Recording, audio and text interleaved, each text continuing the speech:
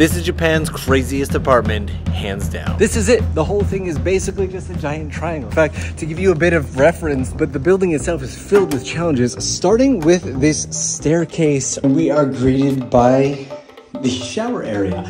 And there's a bath in here. But the only way to really understand this place is to look at it from above. My hands can touch both sides. But you may have also noticed that there's no toilet inside the apartment. You actually gotta go to the front door, put your shoes back on, and then your toilet. Now the door itself doesn't even open all the way, and this is your toilet space.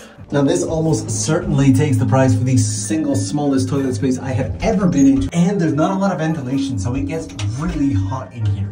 But by far the most interesting part of shooting this video is the warnings that I got. I will cover those in the full video on YouTube along with the price, but the big question is, would you live here?